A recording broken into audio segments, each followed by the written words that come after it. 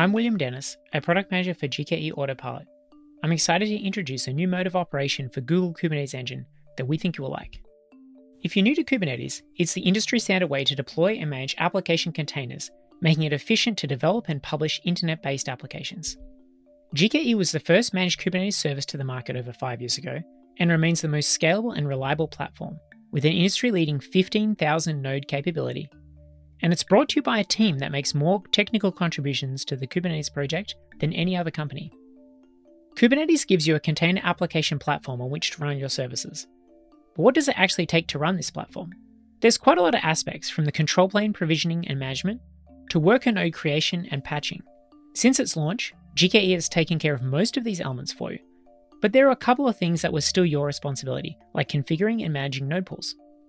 We figured that what you really care about most is running your own applications and services on GKE, and not the configuring and monitoring of the compute that they run on. So we looked at what more we could do to help. That's why I'm happy to introduce GKE Autopilot, a new mode of operation for GKE. With Autopilot, the node configuration and management is now our responsibility as well, so you can focus more on your own applications and services that run on top. With Autopilot, everything is auto provisioned, all you need to do is name the cluster, pick a region, set the network, and deploy your workload with Kubernetes. And once things are provisioned, Google is responsible for managing the nodes and keeping them running. When it comes to the bill, you pay for pods and not VMs. Let me drill into each of these a little further. I mentioned that with Autopilot, we have auto provisioned everything. What this means in practice is that your pod and deployment configuration is also the complete cluster specification. We provision compute resources based on the resource needs you specify in your pod spec. There's minimal cluster setup with no need to figure out what size and shape of nodes should be provided for your workloads. We also apply all the latest security best practices automatically. You've already been able to offload many cluster operational responsibilities to Google, and now this applies to nodes as well. And since we're now managing the nodes, they're more locked down, which also serves to prevent accidental or intentional modifications that can cause issues. Even with us managing everything, you can still use features like maintenance windows and pod disruption budgets to govern how and when updates occur. In fact, we're so confident of our management of this new platform that we're offering a pod level SLA in GKE for the first time. This SLA offers three nines of uptime for pods running in multiple zones. The other major difference is how you're billed. Since you now specify your resources at a pod level, that's how you're billed as well. Your pods are billed per second for vCPU memory, and disk resource requests. System components, the operating system overhead, and most importantly, unused capacity is no longer your concern. Once you scale a workload down, the associated charges cease immediately. GKE's free tier includes Autopilot, giving you one free zonal or Autopilot cluster, so you can give it a try and just pay for the pods you deploy. Despite being fully managed, GKE Autopilot is still GKE and supports nearly the full gamut of workload capabilities. Workloads requiring stateful set and even daemon set are supported at launch, and more support is on the roadmap. We think you shouldn't have to compromise when it comes to your Kubernetes application platform, and built Autopilot with that in mind. From the outset, we said to ourselves that Autopilot is GKE, and we want you to hold us to that. Popular administrative workloads from our partners in areas like logging and monitoring are either supported now or on the roadmap.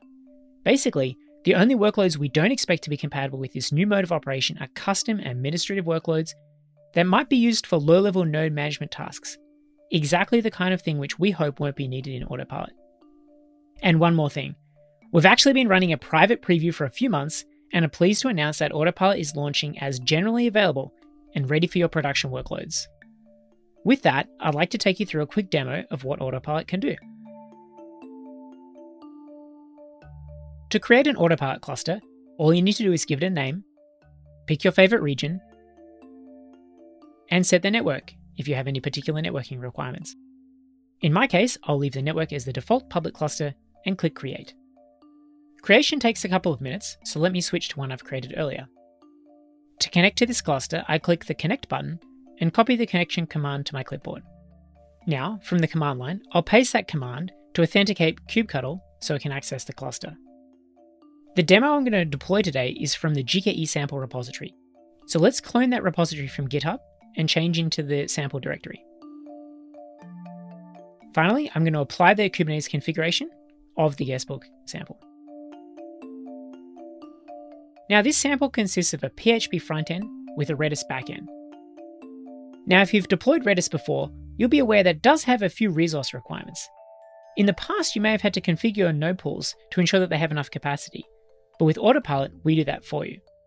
This takes about a minute to provision, so I'm just going to skip ahead.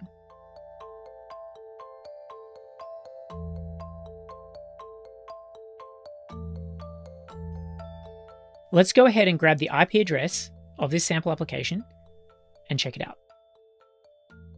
So I pasted that IP address into my browser, loaded it up, and I can give it a quick test. And that was Autopilot. With the introduction of Autopilot, GKE is now available in two modes of operation Standard and Autopilot. Standard is the experience that we've been building since the launch of GKE, where you have full control over the nodes with the ability to fine tune things to your heart's content. For example, running custom administrative workloads, and even tweaking the node operating system itself. Autopilot is a hands off, fully managed solution that empowers you to focus on your workloads while we take care of the rest. Both modes of operation are generally available and fully supported by Google Cloud, so please choose whichever best suits your needs. To learn more about Autopilot, please follow this link to g.co slash autopilot.